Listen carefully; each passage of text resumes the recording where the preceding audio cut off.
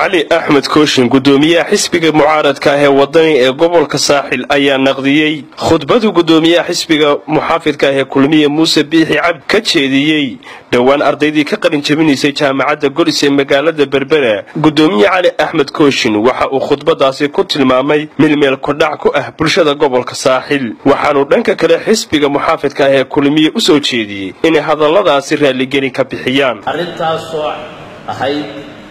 arrintaasoo ahayd cay qaawan oo timid guddoomiyaha xisbiga talada haya ee kulmiye muuse biixi shacbiga reer berbera arrintaa waxaan rabaa inaan horta ka xaalsiiyo shacbiga reer berbera oo cay qaawan oon geed loogu soo gaban si bareera oo ulakaca ugu caayay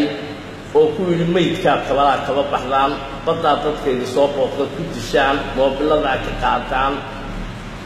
aflagaado fara badan u geysta waxaa leeyahay ummadda reer berbera ee dadka wanaagsana ee ummaddu ay ku dhex nooshahay ee la dhex maro ee nabadda jecel ee magaalada somalilan ugu nabadgelyada badan le ah. Aflagaadada ayda kaga timi muuse bixi xaal baledkiisa waxaa yidhi alla qabay afkana waa yaqaan waana ka agnaan muuse asaraarka iyo cayda waa mid lagu yaqaano oon maanta aflagaadada kaga timi reer berbere aan markii koobaadna ahayn markii labaadna ahayn mar saddexaadna ahayn in ka badan hore loogu ogaayo reer berbere ku ogaayeen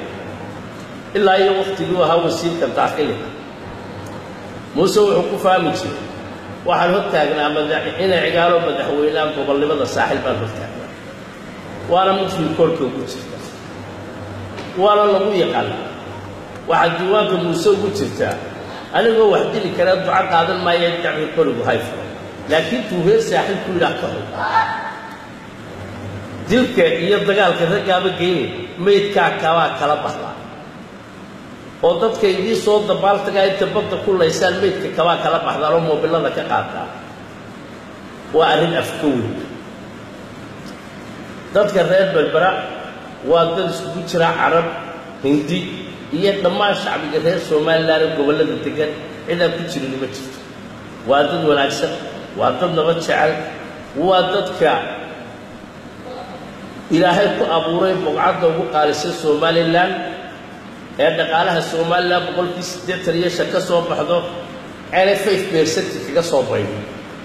ee haddana si nabadgelyo ah oo amniya cid waliba ku dhex marto